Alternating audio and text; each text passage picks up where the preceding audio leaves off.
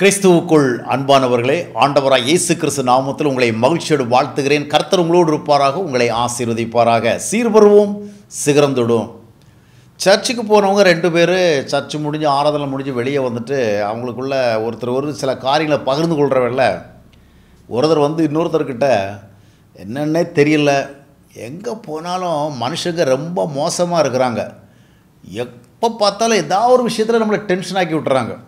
கோபப்படுத்தி விடுறாங்க அலுவலகத்தில் போனால் அங்கே கோபம் விட்றாங்க வீட்டில் போனால் ஒய்ஃபு கோபம் விட்றாங்க ஏதாவது உறவினர்கள் வந்தால் ஏதாவது ஒன்று பண்ணி கோபம் விட்றாங்க கடத்தருவில் போனால் அங்கே கோபம் விட்றாங்க ஏன் சர்ச்சு மட்டும் என்ன எக்ஸப்ஷனலாக இருக்குது? சர்ச்சில் வந்தால் இவங்களும் நம்மளை கோபம் மூட்டி விட்றாங்க. அதனால் ரொம்ப டென்ஷனோடையே வாழ வேண்டியதாக இருக்குது. இந்த ஜெனரேஷனில் ஆட்கள் எல்லாம் ரொம்ப மோசம். அடுத்தவங்களை கோபம் மூட்டி அவங்கள வந்து ரொம்ப மனசை பாதிக்கிறதுலையே கில்லாடிகளாக இருக்கிறாங்க. அந்த விதமாக அவர் பகிர்ந்து கொண்டாராம். அவருடைய கதையை கேட்டுவிட்டு இவர் சொன்னாராம் அது ரைட்டு. நிறைய ஈட்டிகள் பாயுது அப்படின்னு நாம் கம்ப்ளைண்ட் பண்ணுறோம் நமக்கு எதிராக நிறைய அம்புகள் வந்துடுது அப்படின்னு சொல்கிறோம் நாம் என்ன பண்ணணும்? நம்மிடத்தில் கேடகம் இருக்கணும். கேடயம் இல்லைன்னு சொன்னால் ஈட்டிகளையே பார்த்துட்டு நாம் பாதிக்கப்பட்டு கொண்டு தான் இருக்கணும். நாம் ஆவிக்குரிய வாழ்க்கையில் இருக்கிறோம்னு சொன்னால் நிறைய பேர் நம்மளை கோவப்பட தான் செய்வாங்க. நிறைய பேர் நமக்கு டென்ஷன் ஏற்பட தான் செய்வாங்க.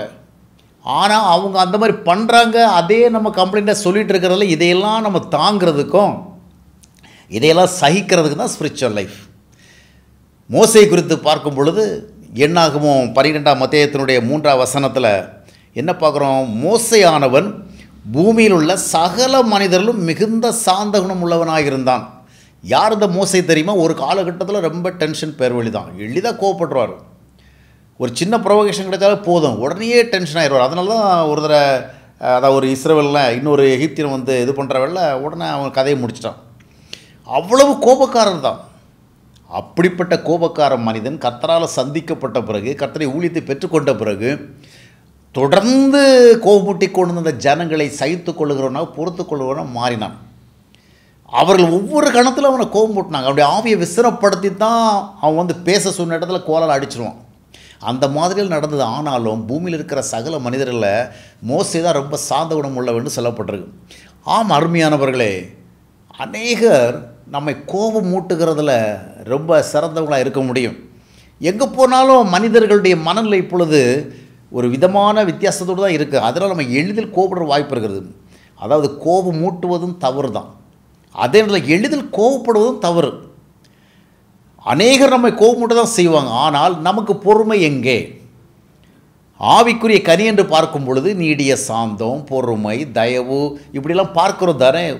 ஒன்று குறித்து பதிமூன்றாம் மத்தியத்தை வாஸ்து பார்க்கும் பொழுது அன்பு என்றால் என்ன என்பது விளக்கம் கொடுக்குற பொழுது அப்போ பவுல் என்ன சொல்கிறார்? நீடிய சாந்தம். நீடிய சாந்தம் இருந்தால் என்ன பண்ணுவோம்?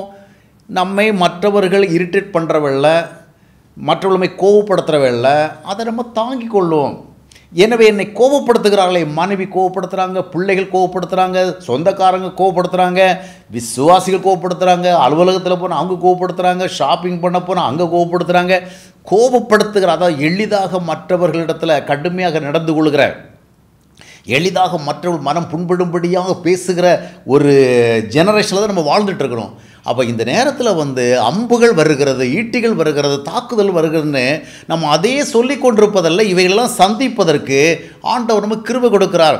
கர்த்தருடைய ஐக்கியத்தோடு நாம் இவளை சந்திக்க வேண்டும். நீடிய சாந்தத்தை நாம் பற்றிக்கொள்ள வேண்டும். சாந்த குணமுடையவர்கள் பாக்கியவான்கள் அவர் பூமி சுதந்திரித்துக் கொள்வார்கள்.